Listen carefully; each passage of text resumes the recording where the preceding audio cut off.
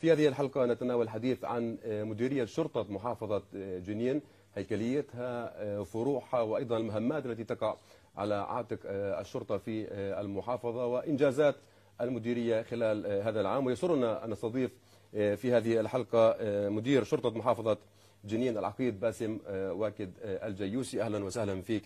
أهلا بك أخي محمود حياك الله عبر شاشة تلفزيون فلسطين مباشر أهلا وسهلا فيك. أهلا وسهلا بك وبتلفزيون فلسطين. بنرحب فيكم في مديرية شرطة محافظة جنين. وإحنا سعيدين جدا بهذا اللقاء الشيق. متمنين التوفيق في لقائنا. واهلا وسهلا فيكم في مديرية الشرطة شكرا لك. بجنين طيب في البداية تعطينا مقدمة كمدخل عن هيكلية مديرية الشرطة وفروعها في المحافظة. نعم أخي محمود مديرية شرطة جنين. هي مديرية من 11 مديرية في محافظات الشمال. تتكون من 22 إدارة بما مجموعه 500 ضابط وفرد. يتولون مهام متعددة بتخصصات متعددة. كما يوجد 11 مركز شرطة 10 مراكز موزعة تخدم ما يقارب 83 تجمع سكاني يوجد لدينا مركز الشرطة المتنقل ويقدم خدمات في جميع أنحاء المحافظة. بالإضافة إلى مديرية الشرطة يتولاها مدير شرطة محافظة ونائب مدير شرطة محافظة. بالإضافة ل 22 إدارة وال 11 مركز. نعم يعني أنتم كسلطة تنفيذية ما هي المهمات وأبرز المهمات وأهمها التي تقع على عاتقكم في تطبيق القانون. نعم أخي محمود مديرية شرطة جنين كباقي شرطة المحافظات لديها الكثير من المهام التنفيذية والخدمات الاجتماعية بكافة أشكالها. الإدارات ومراكز الشرطة تتولى تنفيذ الكثير من المهام وخاصة الأوامر التي تصدر عن القضاء سواء أوامر الحبس أو إلقاء القبض أو مذكرات الإحضار وما شابه لتنفيذ القانون في كافة أنحاء المحافظة. لدينا الكثير من المهام ويوجد الجانب التوعوي وهو الأهم بعملنا حيث يتم التركيز عليه من بداية كل عام. نقوم بإعداد البرامج التوعوية لكافة الإدارات المتخصصة على خدمة مدارس المحافظة المؤسسات المجتمع المحلي بكافة التجمعات النسوية والتجمعات السكانية اللي بحاجة لتوعية في أماكن يمكن تكون بعيدة عن مدينة جنين. إحنا بنقدم على مدار العام الدراسي لكافة المدارس تقريبا برامج توعية بتخصصات متعددة منها ما يخص الجرائم الإلكترونية ما يخص حماية الأسرة ما يخص آفة المخدرات وما شابه من قضايا تعني الكثير لدى المواطن ولها الأهمية. طيب نعم نبدأ من حيث انتهيت إدارة مكافحة المخدرات وهي طبعا التي تواجه يعني ظاهرة خطيرة وآفة دخيلة على المجتمع الفلسطيني. لو تحدثنا عن إنجازات هذه الإدارة خاصة يعني في ما يتعلق بعمليات إحباط محاولات تهريب المخدرات والاتجار بها. نعم أخي محمود. محافظة جنين أنا بحب أطمن أهلنا بمحافظة جنين لا تعد المحافظة الأكثر انتشار لآفة المخدرات. مقارنة بمحافظات أخرى يمكن تكون النسبة أعلى بوجود آفة المخدرات فيها. لكن إحنا في محافظة جنين نعمل بجد لمكافحة هذه الظاهرة الدخيلة التي ربما يكون الأساس في ترويجها هو الجانب الإسرائيلي الذي يعمل دائما على أنه يستهدف هذا الشعب بهذه الآفة الخطيرة ليحرف بوصلة النضال إلى دخولنا بآفة المخدرات. إحنا نبذل الجهد والجهد الكبير للتخلص من هذه الآفة والحفاظ على عدم انتشارها بنسب عالية. يمكن نعمل جاهدين على إنه نعمل على تخفيض نسبة المتعاطين نعمل على محاربة تجار الدم تجار المخدرات الذي آه، يهمهم فقط جمع الأموال ولا يهمهم المواطن مهما كانت النتائج آه، الخطيرة التي تؤدي في بعض الأحيان إلى الوفاة. إحنا في محافظة جنين كان عندنا حكم قضائي 15 عام وغرامي 10000 دينار على أحد تجار المخدرات وتم إصدار ثلاث أحكام على ثلاث من مروجي أو تجار المخدرات بأحكام عشر سنوات وعشر آلاف دينار وثلاث بحكم خمس سنوات إيه، وغرامة مالية خمس آلاف دينار. نعمل وطبعا هناك العديد من الأحكام من ثلاث شهور إلى ثلاث سنوات وغرامات مالية تتراوح ما بين الألفين دينار وما فوق. حسب الجريمة نعم. نعم. وهذا هو آخر مرسوم صدر من فخامة السيد الرئيس إيه، إيه، لمكافحة هذه الظواهر واتخاذ أقصى العقوبات بحق مروجي المخدرات لما لهذا الموضوع من أهمية عند إيه، كافة مؤسسات الأمنية نعم في هناك أيضا. نقطة آه، أود الإشارة إليها وهي آه، انتشار ظاهرة المخدرات أو تركيز بعض تجار السموم والموت آه، على المدارس على مدارس آه، الثانوية الابتدائية الأساسية. آه، هل هناك رقابة مشددة فيما يتعلق بالمؤسسات التعليمية تحديدا؟ نعم أخي محمود. نحن آه، لدينا برامج توعية في كافة المدارس ونعمل جاهدين على تحذير آه، أبنائنا الطلبة من التعامل مع هذه ال- ال- الأشخاص. آه، يمكن يمكن يكون مبالغ إلا أنه يعني إحنا نطالب أبنائنا الطلبة باتخاذ أقصى درجات الحذر بعدم التعامل مع أي شيء غريب يمكن يعرضوا عليهم أي حدا ما بيعرفوه. فأنا يعني بتوجه لطلبتنا بعدم التعاطي مع مين ما كان مع أي شخص مش معروف لديهم أنهم يأخذوا منه أي شيء كان. إذا التبليغ عن أي حالة مشبوهة ربما. نعم نعم. لدينا لدينا ال ال الكثير من الطلبة آه، يتعاونون بشكل آه، رائع مع إدارة مكافحة المخدرات بالاتصال بنا أو إعطاء المعلومة عبر ثقتهم لثقتهم آه، بجهاز الشرطة وتعاملهم اللي بشكل يومي مع إخواننا بالعلاقات العامة والإدارات المتخصصة اللي وصلت لكل طلابنا بكل مدارس المحافظة. فيوجد تعاون جيد من الهيئات التدريسية ومن أبنائنا الطلبة إيه، بيعملوا على مكافحة هذه ال- الآفة ومروجينها. نعم يعني إدارة أخرى آه، لا يقل دورها أهمية عن دور إدارة مكافحة المخدرات وهي إدارة المباحث كمساند. وأيضا لا ننسى القسم المختص بالجرائم ال- ال- الإلكترونية. نعم أخي محمود إحنا لدينا إيه، إدارة إدارة المباحث العامة وهي إدارة فعالة وإدارة مهمة. وإدارة إيه، لها إيه، باع كبير في إنجاز الكثير من القضايا على إيه، الكثير من المستويات سواء على مستوى الجريمة أو على مستوى السرقات كشف الكثير من القضايا السرقات الكثير من القضايا اللي متخصصة بالجرائم الإلكترونية عملت على كشف يعني المباحث عندها تقريبا 960 قضية. إيه، تم الكشف عن 340 قضية بتخص الجرائم الإلكترونية. إحنا الجرائم الإلكترونية لدينا قسم متخصص بإمكانيات رائعة بتخصص لشباب متخصصين بال- بالجرائم. الإلكترونية.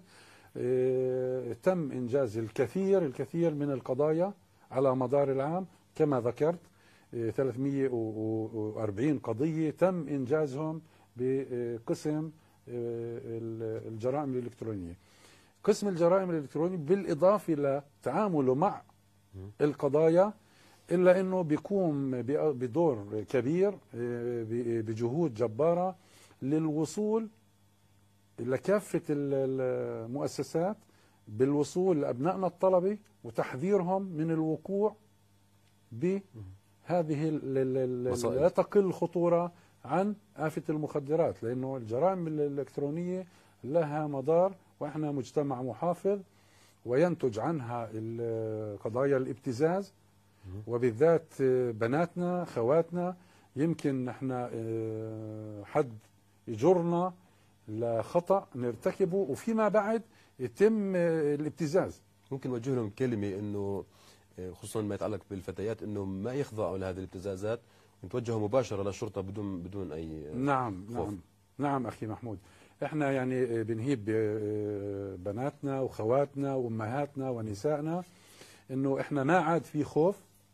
آه، يمكن إحنا كلنا بنخطئ وخير الخطاؤون التوابون آه، هذا موضوع ال- الجرائم الإلكترونية أو الابتزاز الإلكتروني آه، والوقوع بخطأ معين يمكن علاجته وبطريقة سهلة فأنا بناشدهم أي حدا بيتعرض لأي عملية ابتزاز التوجه لقسم حماية الأسرة لدينا قسم متخصص بالإضافة لقسم الجرائم الإلكترونية لدينا آه، قسم حماية الأسرة يمكن اللجوء له وهذا القسم يعمل بسرية تامة آه، نعم. يتعامل بحذر ويتعامل بأمانة ومصداقية عالية لأبعد الحدود. يمكن نحل الموضوع بطريقة آه، ما يكون فيها ضرر على أي شخص كان من كلا ال- الجنسين. وهذا التعرض للابتزاز هو آه، حدث مع الجنسين. تمام. آه، تحدثت عن إدارة حماية الأسرة. طبعا هذه الإدارة أكيد بالتأكيد على عاتقها مهام ثقيلة. أهمية يعني أهم الأدوار التي تؤديها آه، هذه الإدارة والرسالة عبر الخدمات التي تقدمها للمواطنين نعم أخي محمود. إيه، إدارة حماية الأسرة هي إدارة متخصصة إيه، بالأسرة والأحداث. هي إدارة حماية الأسرة والأحداث. يعني أخذت جانبين جانب حماية الأسرة والجانب الآخر هما الأحداث الأقل من 18 عام. هذه الإدارة إيه، لها أهمية كبيرة تساوي إيه، إدارة المباحث وإدارة المكافحة. لما لهذا الموضوع من أهمية. أخي محمود إحنا يعني هذه الإدارة تعالج الكثير من المشاكل أحيانا المشاكل الزوجية أو الاعتداءات من قبل ال- الأزواج. من كلا الطرفين.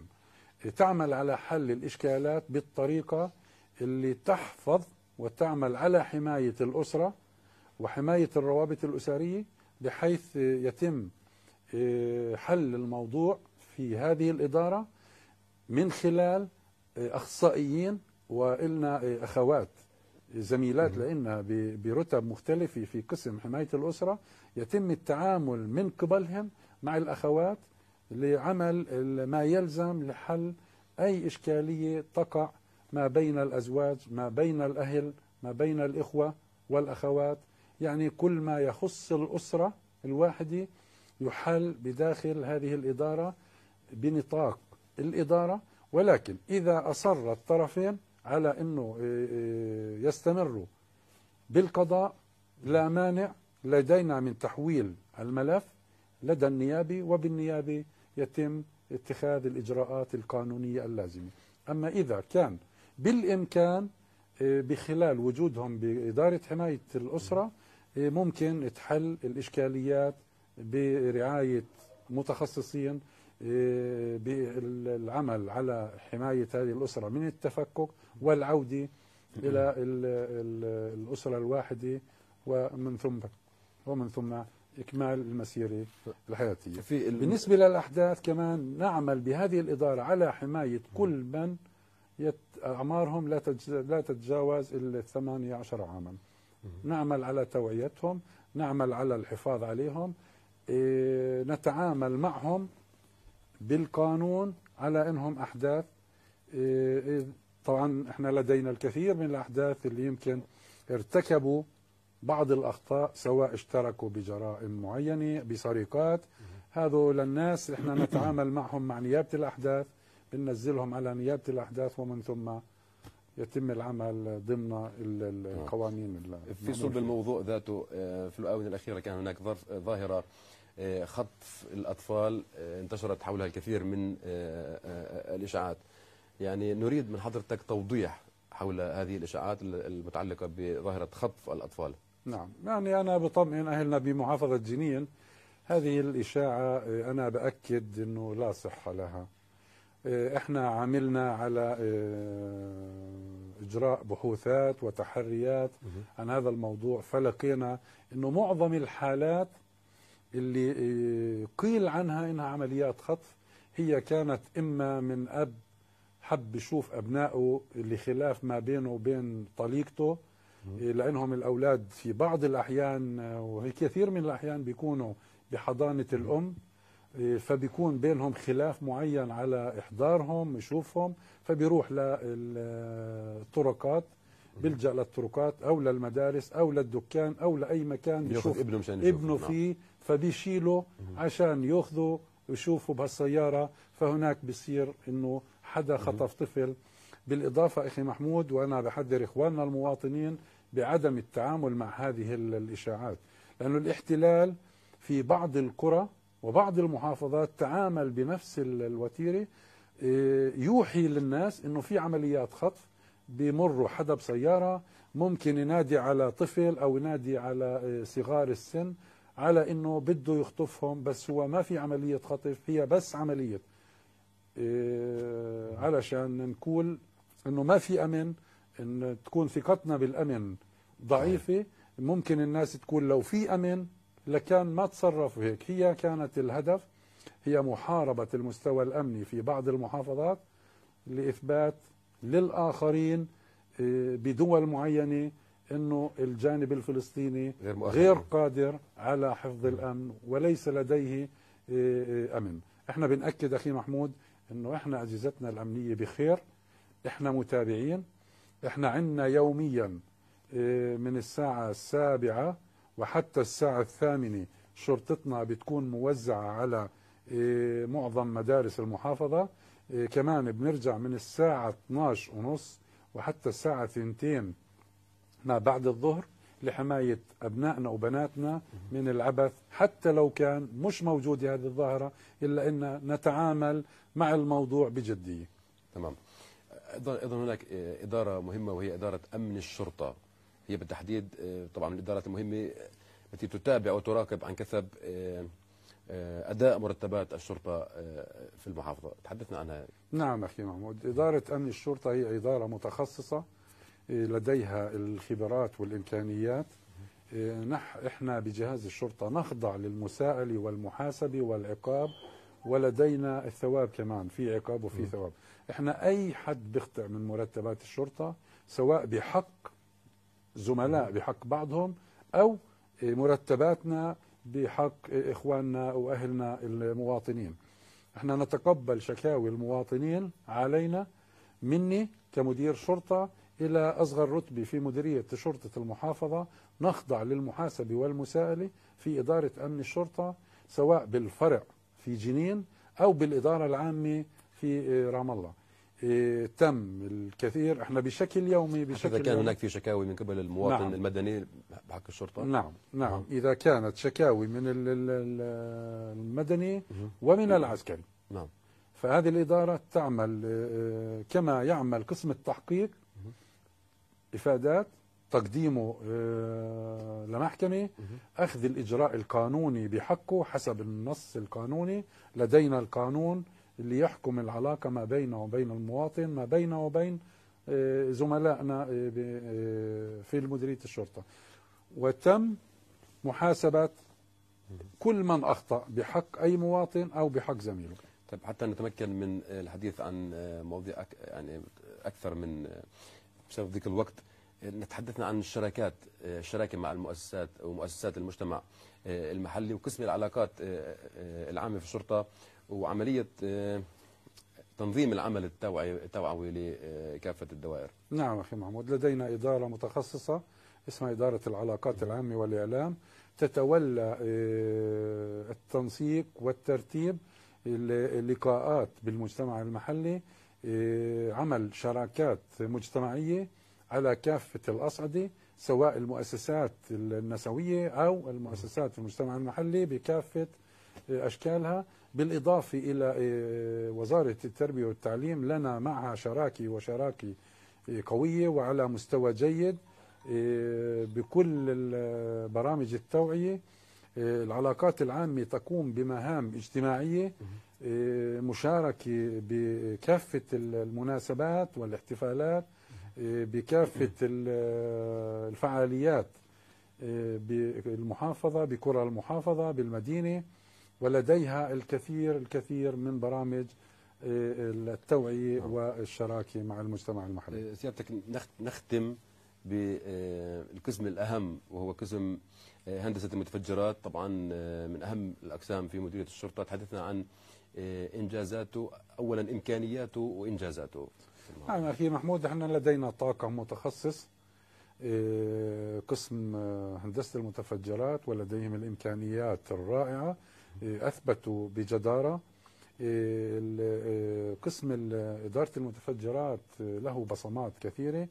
الاحتلال في معظم مناطقنا الفلسطينية يترك وراءه بعد كل عملية منذ احتلاله لهذه الأرض وهو يترك وراءه الكثير من ال- ال- الأجسام الغريبة والأجسام المتفجرة. فإحنا بنهيب بإخواننا المواطنين عدم التعامل مع أي جسم مهما كان آه، إبلاغ آه، مديرية الشرطة على رقم 100 وإحنا آه، بنبعث هذه الإدارة المتخصصة للتعامل مع هذه الأجسام. ولدينا الكثير من إبطال مفعول الكثير من العبوات سواء الأبوات القديمة من الحروب السابقة أو اللي ما يتركه الاحتلال من مخلفاته أثناء اجتياحاته. آه، لم يكن لنا إلا أن نشكرك العقيد آه، مدير شرطة محافظة جنين عقيد باسم وكد الجيوسي على هذه آه، المشاركة. كما أشكركم مشاهدينا الكرام على طيب المتابعة على أمل اللقاء بكم الأسبوع المقبل. اللقاء.